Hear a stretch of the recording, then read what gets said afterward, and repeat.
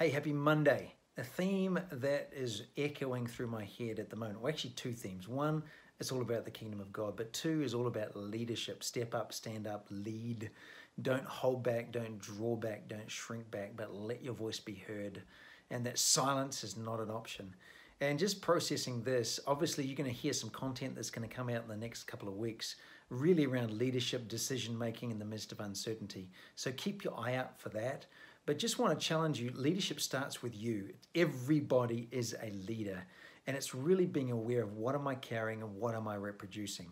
So, here, real quick, on a scale of 1 to 10, where 10 is everything is uncertain and one is everything is stable. Now, you choose work, business, home, country, nation, whatever it may be. Just put a number on that between 1 and 10, where 10 is uncertain and 1 is everything stable. So, grab your number. You got that? Now, here's the second part. What's your level of peace? Are you feeling distracted all over the place, unsettled? That would be a 1. Or have you got absolute peace and security and confidence? That's a 10. Now, here's the outcome and feedback for you.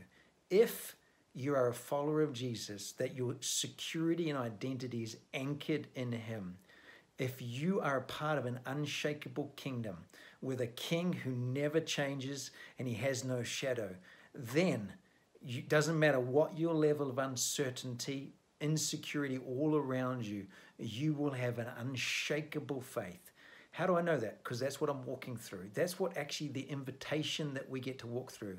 And what I know also is if I'll feed myself on things that are uncertain, the things that are outside of my control, that I'm concerned about, but I cannot change politics, pandemic, masks or no mask, all these things that are outside my control, if I'll feed myself with that, then it just leads to instability on the inside of here. But if I feed myself on what God is doing, what His Word says, my relationship and connection with Him, and focusing on what I can do, that leads to power, being real powerful, actually growing in influence, and being an unshakable faith person. So I bless you with that this week, that you would be a person of unshakable faith. Have a great week, and we'll see you next week.